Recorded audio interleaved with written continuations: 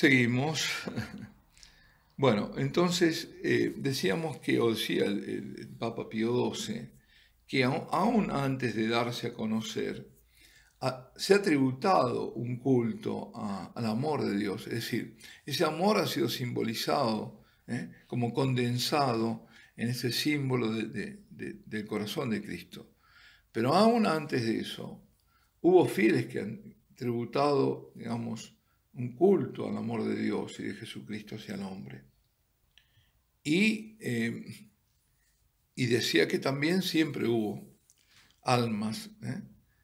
Eh, que, inspirados por la Santísima Virgen, en, todos los santos, tributaron también culto de adoración, también de gratitud, de amor a esa humanidad de Cristo. Y en modo especial a esas llagas abiertas.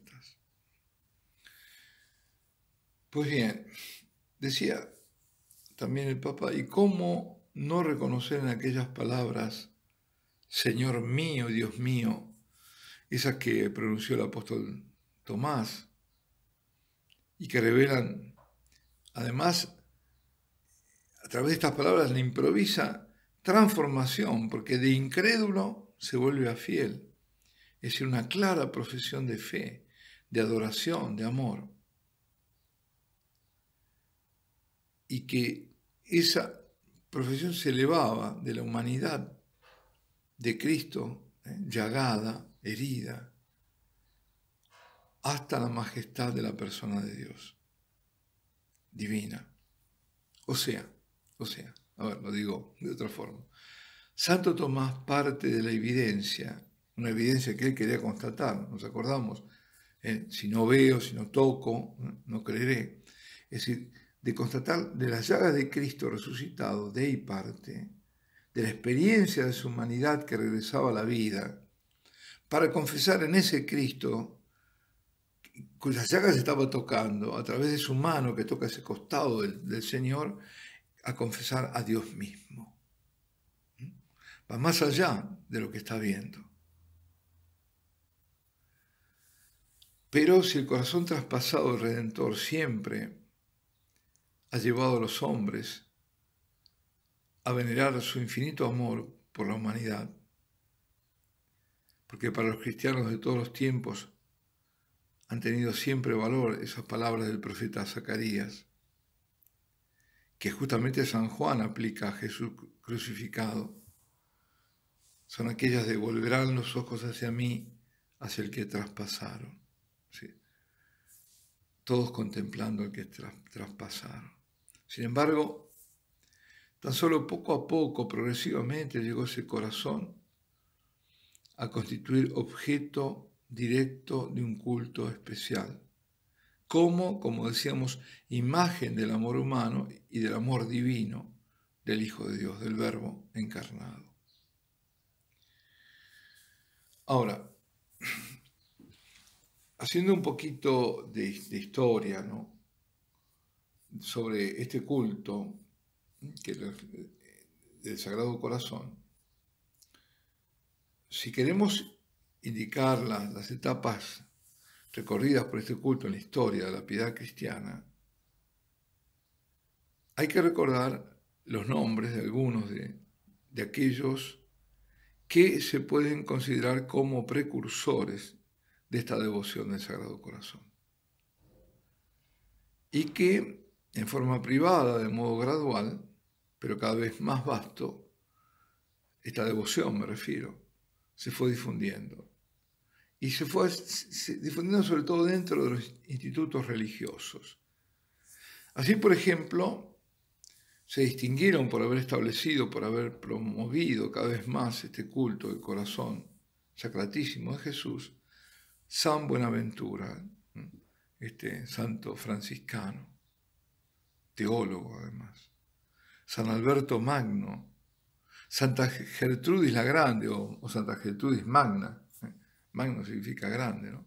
Santa Gertrudis Magna, Santa Catalina de Siena, el Beato Enrique Suso, San Pedro Canicio, San Francisco de Sales. Qué grandes, ¿eh? Bueno, San Juan Eudes es el autor del primer oficio litúrgico en honor del Sagrado Corazón, cuya fiesta solemne se celebró por vez primera, y esto con el beneplácito de muchos obispos de Francia, el 20 de octubre de 1672. Fíjate, un, un, siglo, bueno, 100 años, 107 años para ser preciso, antes de la llamada Revolución Francesa. Pero claro, entre todos los promotores, el puesto fundamental, lo sabemos, lo tiene Santa Margarita María de Coque. Por su celo, dice el Papa, iluminado y ayudado por el de su director espiritual, que fue San Claudio de la Colombière, era el director espiritual y jesuita. Y por eso fueron los jesuitas los que más difundieron el comienzo. Después se agregaron otros, ¿no? los salesianos, tantos. Pero ese momento que consiguió que este culto, que ya estaba ya tan difundido, alcanzase el desarrollo que hoy eh, tenemos ¿eh? y que por sus características de amor y de reparación, amor y reparación, se distingue de todas las demás formas de la piedad cristiana.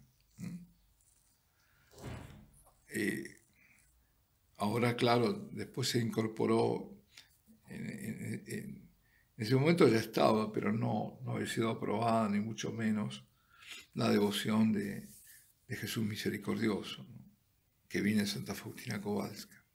Cuando él escribe esto, 1956 ya estaba, claro que estaba, pero estaba incluso bajo el índice. Es decir, tuvo que venir Juan Pablo II para aclarar, bueno, ya como obispo de Cracovia, para aclarar ciertos puntos que estaban...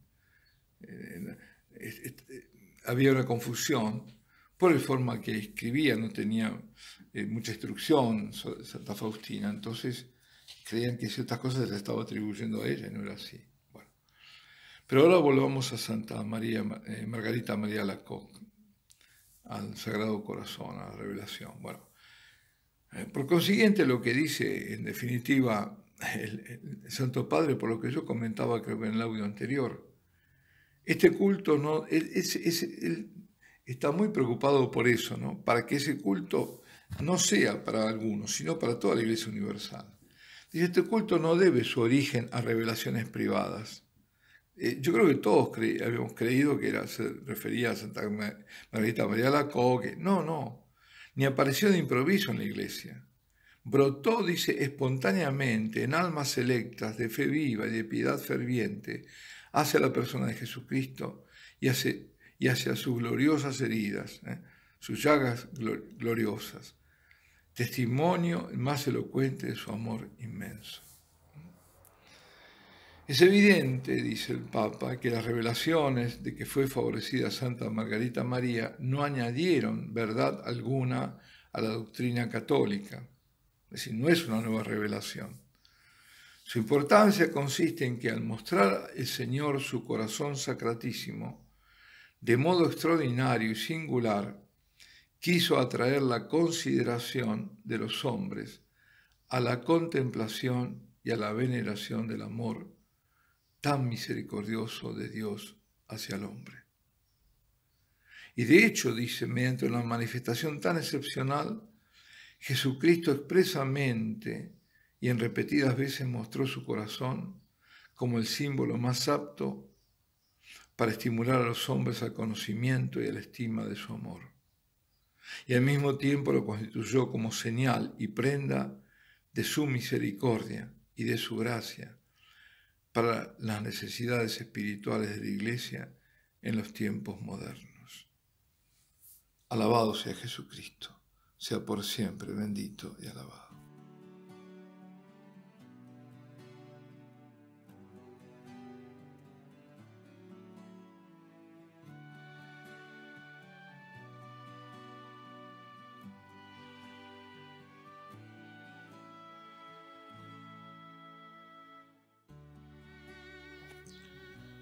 Oración al corazón de Jesús. Sacratísimo corazón de Jesús, cuántas veces te he ofendido. Corazón de mi Señor, cuánto te he ignorado. Amadísimo corazón de Jesucristo, despreciado por el mundo y por tantos ultrajado. Ahora vengo a este tu corazón abierto por mí, por cada uno de nosotros, a pedirte perdón, a dar satisfacción, consuelo y a reparar por el mal que he hecho, por el mal en la iglesia y por el mal del mundo. Vengo a este corazón que palpita en la Eucaristía, en cada sagrario de la tierra, en cada altar donde estás expuesto. Vengo a este corazón en el que encuentro siempre refugio. Vengo, mi Señor y Salvador, a decirte que te amo y que en ti confío. Tú sabes, mi Señor, que he consagrado mi vida al corazón inmaculado de tu Madre, para que ella me lleve a ti y así estar cada vez más cerca de ti y poder como ella decirte, soy todo tuyo, Señor. Deseo, mi Dios, tener tus mismos sentimientos, que mi corazón sea como el tuyo, humilde y manso, ardiente de amor y lleno de misericordia para con todos. Deseo serte siempre fiel y trabajar para tu reino con las fuerzas que tú me des. Y cada vez que caiga en la prueba o decaiga en el fervor, escucha los ruegos de tu Madre y realzame, Señor. Amén.